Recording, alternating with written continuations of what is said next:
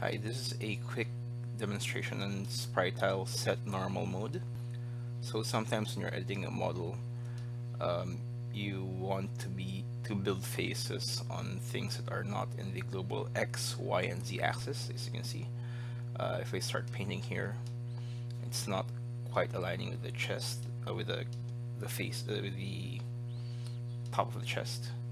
So what you can do is use the create is create a temporary face here.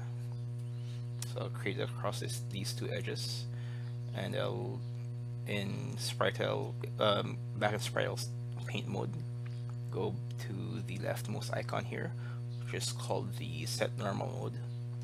So click that and then click on the face, and you can now just delete the face here and you can see that I start building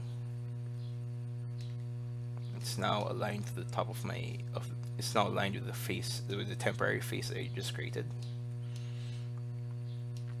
um, so just continue building like that Oops.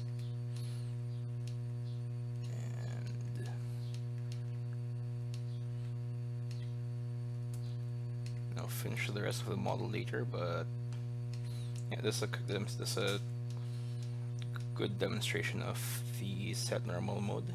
Um, once you've done the set normal mode and you want to go back to your regular XYZ axis, uh, be sure to uncheck the lock button here. And now you can see the the grid cursor is um, back on the X, Y, and Z mode. Right, so hope this short video helps. Um, keep creating really cool stuff with Sprytile. Thanks.